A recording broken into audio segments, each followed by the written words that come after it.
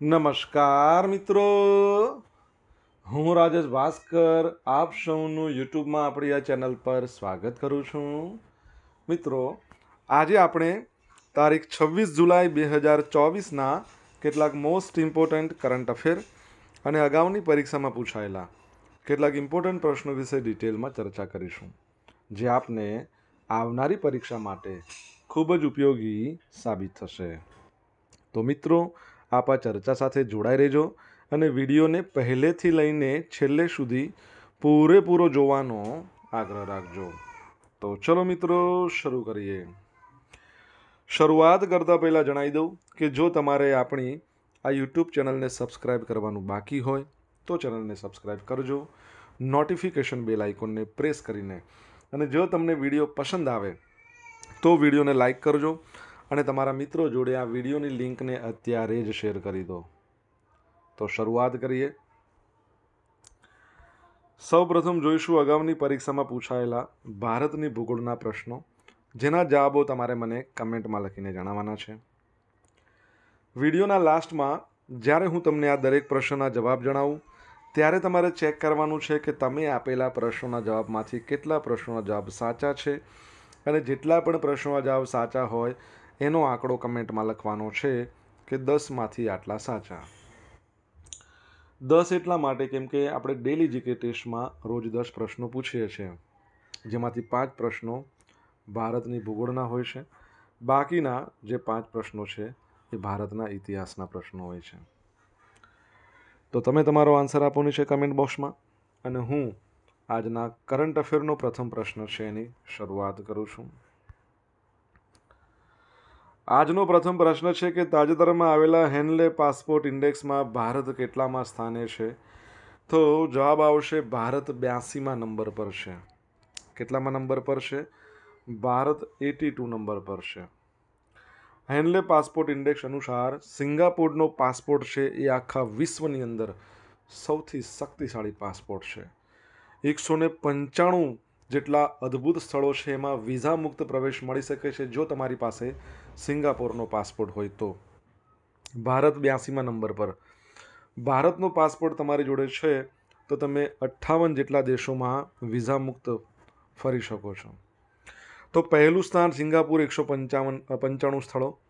સંયુક્ત રીતે બીજું સ્થાનની વાત કરીએ તો France, Germany, Italy, Japan, Spain એકસો ને બાણું સ્થળોએ ફરી શકાય. ત્રીજા નંબર પર Austria, Finland, Ireland, Luxembourg, Netherlands દક્ષિણ કોરિયા, સ્વીડન એકસો ને એકાણું સ્થળો છે. ચોથા નંબર પર છે UK Belgium, Denmark, New Zealand, Norway, Switzerland એકસો ને નેવું સ્થળો. આઠમા નંબર પર અમેરિકા એકસો ને છ્યાસી સ્થળો છે. ભારત બ્યાસીમાં નંબર પર અઠ્ઠાવન સ્થળો, ભારતની જોડે જોડે સેનેગલ અને તાજિકિસ્તાન છે, એ પણ છે.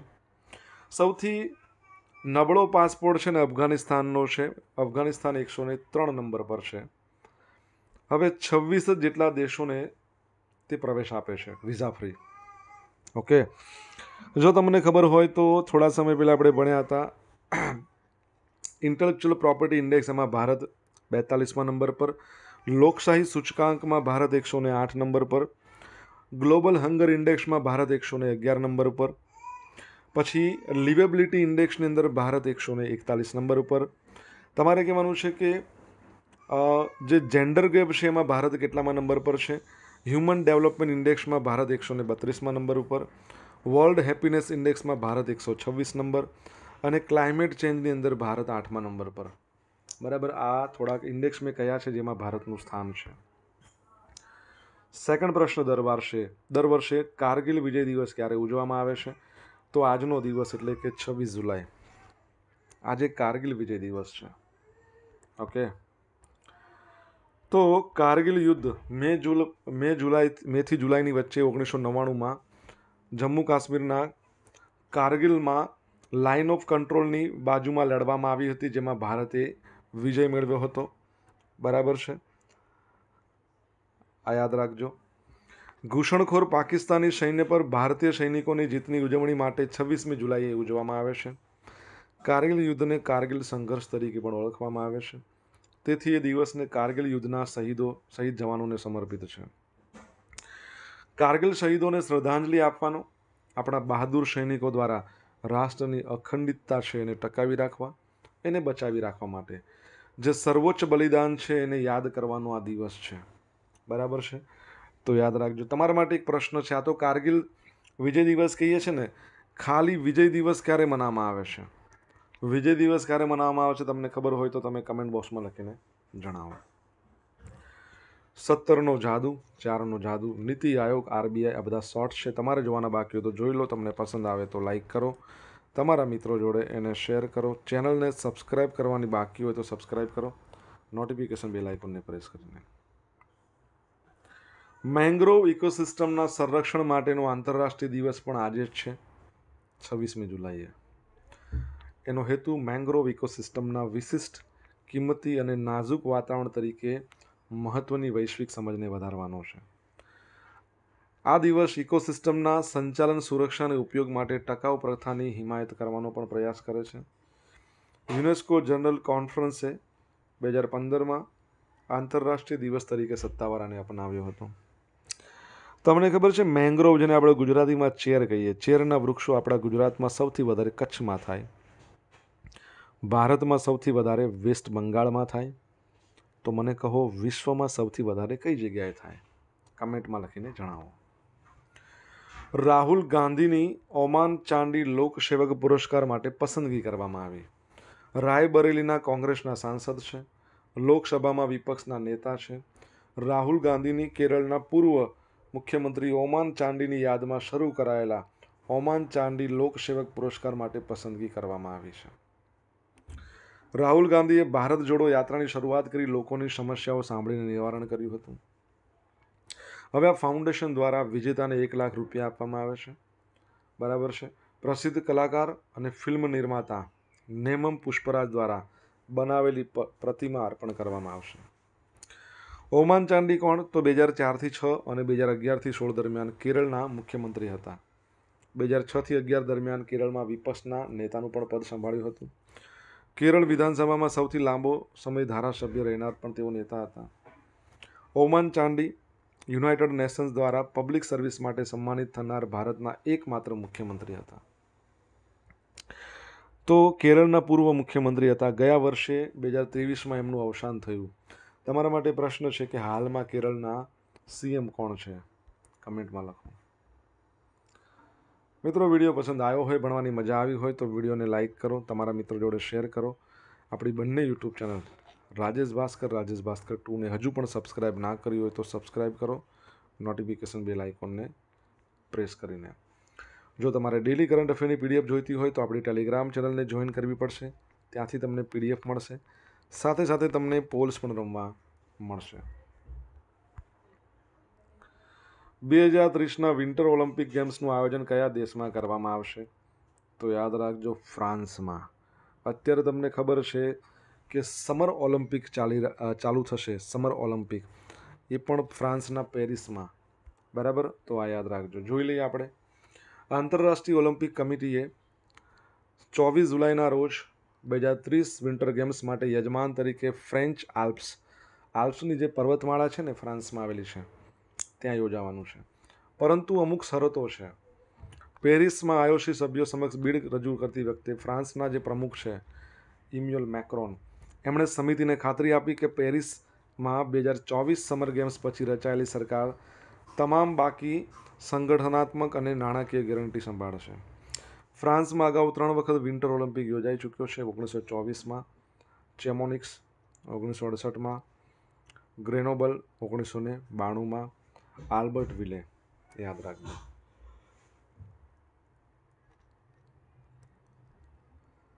મિત્રો, આજે છે ને આપણે એમ કહી શકીએ કે ઓલિમ્પિકના ઘણા બધા સવાલો છે. ઓલિમ્પિક, તમને ખબર છે, પેરિસમાં સમર ઓલિમ્પિક્સ યોજાઈ રહ્યો છે, જેનો મુદ્રાલેખ તમારે કહેવાનો છે. ભારતના જે ધ્વજ વાહક છે, પુરુષોમાં શરદ કમલ અને મહિલાઓમાં પીવી સિંધુ છે, એ પણ યાદ રાખજો. તાજેતરમાં કયા દેશમાં ઇન્ટરનેશનલ મેથ્સ મેથ્સ ઓલિમ્પિયાડનું આયોજન કરવામાં આવ્યું? તો યુનાઇટેડ કિંગડમમાં કઈ જગ્યાએ યુકેમાં આનું આયોજન કરવામાં આવ્યું? તો તાજેતરમાં યુકેમાં ધોરણ અરે સોરી ધોરણ નહીં. યુકેમાં અગિયારથી બાવીસ જુલાઈ દરમિયાન આનું આયોજન કરવામાં આવ્યું હતું. ભારતીય ટીમ છે ને, એણે ઇન્ટરનેશનલ મેથ ઓલિમ્પિયાડમાં ચાર ગોલ્ડ જીત્યા અને એક સિલ્વર. આંતરરાષ્ટ્રીય હરીફાઈની વાત કરીએ તો ભારત ચોથા નંબર પર. બહુ સરસ નાઇન્ટી એટી નાઇન પછી ભારતનો સૌથી સારો દેખાવ અને નાઇન્ટી એટી નાઇન પછી ભારત પ્રથમ વખત ઇન્ટરનેશનલ મેથ્સ ઓલિમ્પિયાડમાં ભાગ લીધો. આ અગાઉ ભારતનો સર્વશ્રેષ્ઠ દેખાવ ઓગણીસો અઠ્ઠાણુંમાં અને બે હજાર એકમાં. બંને વર્ષમાં ભારત સાતમા નંબર પર હતું. પુણેના ધોરણ અગિયારમાં ભણતા ઓ. દિત્ય મુંગડી ગુવાહાટીના ધોરણ બારના આનંદા ભાદુરી નોઈડાના ધોરણ દસના, કનવ તલવાર તલવાર અને મુમાબીના ધોરણ બારના ઋષિલ માથુરને ગોલ્ડ મળ્યો. દિલ્હીના ધોરણ બારના અર્જુન ગુપ્તાને સિલ્વર મળ્યો છે. ઇન્ટરનેશનલ મેથ ઓલિમ્પિયાડ બે હજાર ચોવીસમાં પ્રથમ નંબર પર અમેરિકા છે. ચાઇના સેકન્ડ નંબર, ત્રીજા નંબરે દક્ષિણ કોરિયા અને ભારત એકસો સડસઠ ગુણ સાથે ચોથા નંબર પર છે. અહીંયા મેથ્સની વાત કરી છે તમારા માટે પ્રશ્ન. ભારતમાં રાષ્ટ્રીય રમત દિવસ રાષ્ટ્રીય રમત દિવસ તો ઓગણ, ઓગણત્રીસમી ઓગસ્ટે મનાવવામાં આવે છે. ભારતમાં રાષ્ટ્રીય ગણિત દિવસ ક્યારે મનાવવામાં આવે છે એ તમારો પ્રશ્ન છે. કમેન્ટમાં લખો. મેં કહ્યું ને, આજે ઓલિમ્પિક ઓલિમ્પિક છે. ઓલિમ્પિયાડની વાત કરી, વિન્ટર ઓલિમ્પિકની વાત કરી અને ઓલિમ્પિકમાં સુવર્ણ વિજેતા હતા ભારતમાં પ્રથમ વ્યક્તિગત ગોલ્ડ મેડલ લાવનાર અભિનવ બિંદ્રા. તો અભિનવ બિંદ્રાને ઓલિમ્પિક ઓર્ડર આપવામાં આવશે અને આવો ઓર્ડર મેળવનાર તેઓ પ્રથમ ભારતીય. ખાસ યાદ રાખજો. પ્રથમ ભારતીય છે જેને ઓલિમ્પિક ઓર્ડર મળશે. તો દેશના પ્રથમ વ્યક્તિગત ઓલિમ્પિક સુવર્ણચંદ્રક વિજેતા સુપ્રસિદ્ધ ભારતીય શૂટર અભિનવ બિંદ્રા.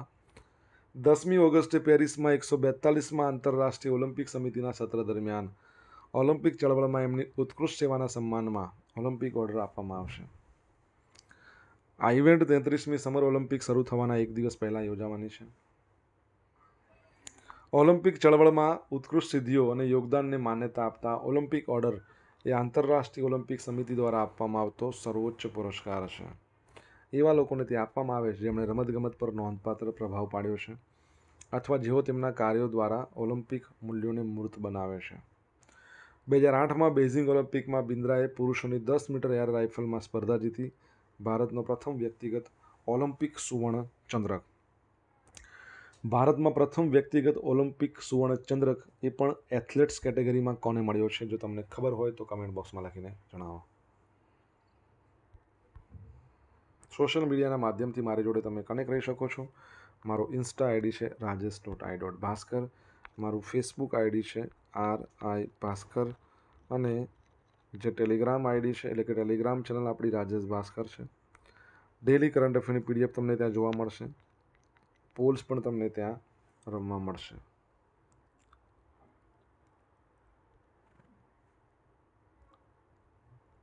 નેશનલ જલ જીવન મિશનની શરૂઆત ક્યારે થઈ હતી? તો પંદરમી ઓગસ્ટ બે હજાર ઓગણીસના રોજ આની શરૂઆત થઈ હતી. અત્યારે શા માટે આપણે એની ચર્ચા કરી રહ્યા છે તો નેશનલ જલ જીવન મિશને દેશભરમાં પંદર કરોડ ગ્રામીણ પરિવારોને નળના પાણીના જોડાણો આપીને એક ઐતિહાસિક સિદ્ધિ હાંસલ કરી છે. પ્રધાનમંત્રી નરેન્દ્ર મોદીએ પંદર ઓગસ્ટ બે હજાર ઓગણીસના રોજ શરૂ કરી હતી. આ પહેલના પાંચ વર્ષ પૂરા થઈ ગયા. આટલા ટૂંકા સમયગાળા દરમિયાન ગ્રામીણ નળ જોડવાનું કવરેજ ત્રણ કરોડથી વધારીને પંદર કરોડ રૂપિયા કરીને અદ્ભુતપૂર્વ ઝડપ અને સ્કેલનું પ્રદર્શન કર્યું છે. આઠ રાજ્યો છે. ગોવા, તેલંગણા, હરિયાણા, ગુજરાત, પંજાબ, હિમાચલ, મિઝોરમ, અરુણાચલ પ્રદેશ અને ત્રણ કેન્દ્ર શાસિત. પુડુચેરી, દાદરા નગર, હવેલી, દીવ દમણ અને અંદમાન નિકોબાર. એમણે સો ટકા કવરેજ હાંસલ કર્યું છે. તમને ખબર છે?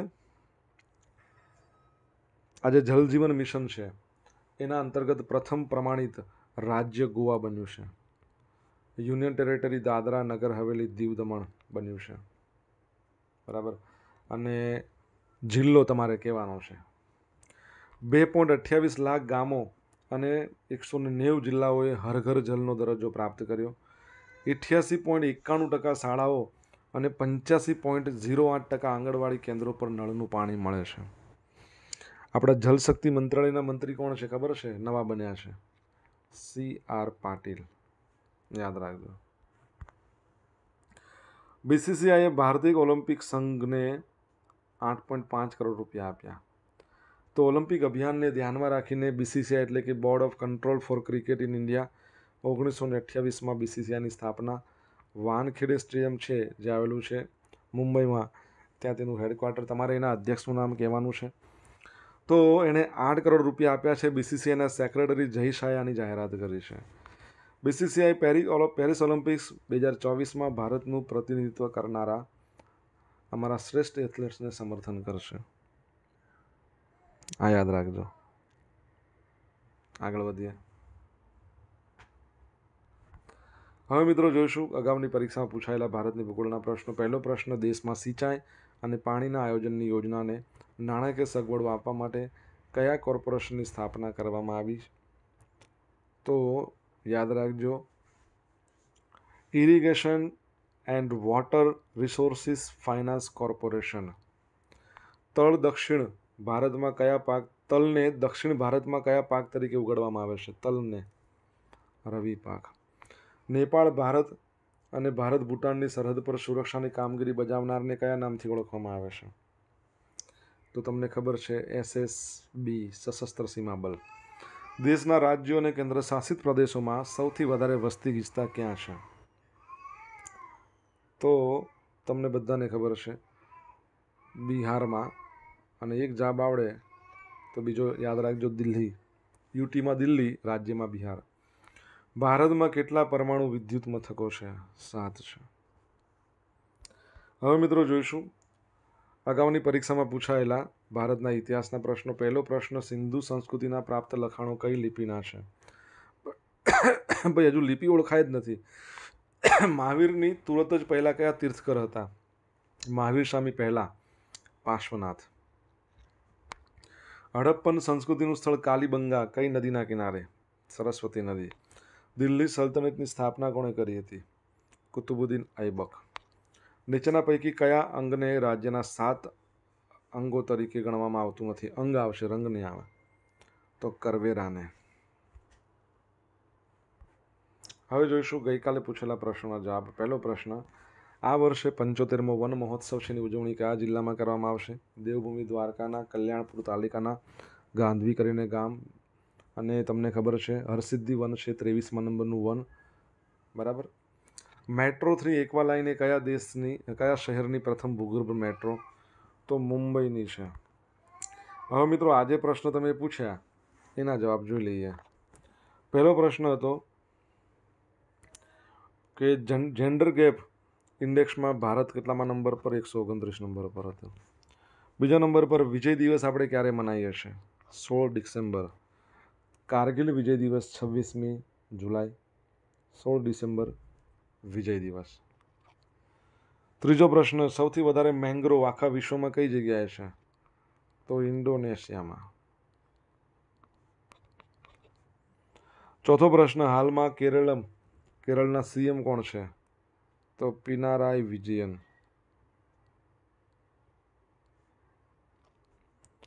પાંચમો પ્રશ્ન, પેરિસ ઓલિમ્પિક્સ છે, એનો મુદ્રાલેખ શું છે? તો મેં તમને ઘણી વાર કીધું, games wide open.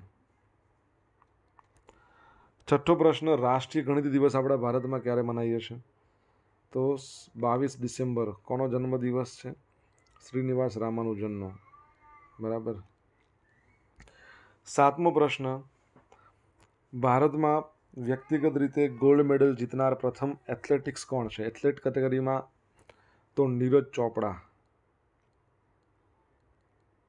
Javelin throw એમણે સાત ઓગસ્ટ ઓગણીસો સાત ઓગસ્ટ બે હજાર એકવીસમાં જ્વેલિન થ્રો કરીને ગોલ્ડ લાવ્યા એટલે ભારતમાં સાત ઓગસ્ટને જ્વેલિન થ્રો દિવસ તરીકે મનાવવામાં આવે છે. આઠમો પ્રશ્ન. પ્રથમ પ્રમાણિત હરઘર જલ જિલ્લો કયો છે? બુરહાનપુર. ક્યાં આવેલો છે? મધ્યપ્રદેશ. નવમો પ્રશ્ન બીસીસીઆઈના અધ્યક્ષનું નામ શું છે? રોજર બિન્ની. યાદ રાખજો. હવે મિત્રો જોશું, ગઈકાલના કરંટ અફેરમાંથી પૂછેલા કેટલાક ઇમ્પોર્ટન્ટ પ્રશ્નો જેના જવાબો તમારે કમેન્ટમાં લખવાના છે. પહેલો પ્રશ્ન, તાજેતરમાં કયા દેશના રાજાએ ગુજરાતની મુલાકાત લીધી? સેકન્ડ પ્રશ્ન, તાજેતરમાં ટી ટ્વેન્ટીમાં સૌથી વધુ રન બનાવનાર ભારતીય મહિલા ખેલાડી કોણ? જવાબ આવડે તો કમેન્ટમાં લખજો. ઓકે તો મિત્રો, આ હતા આજના દિવસના કેટલાક મોસ્ટ ઇમ્પોર્ટન્ટ કરંટ અફેર સાથે આપણે જોયું, અગાઉની પરીક્ષામાં પૂછાયેલા કેટલાક ઇમ્પોર્ટન્ટ પ્રશ્નો. એના જવાબોની સાથે આશા રાખું બધાને ભણવાની મજા આવી હશે. મજા આવી હોય તો વિડીયોને લાઇક કરજો, તમારા મિત્રો જોડે શેર કરજો. અને આપણી બંને YouTube channel Rajesh Bhaskar Rajesh Bhaskar two બંનેને સબસ્ક્રાઇબ કરજો. નોટિફિકેશન બેલ આઇકોનને પ્રેસ કરીને. તો મિત્રો thank you thank you so much for watching this video have a nice day Jai Hind Jai Bharat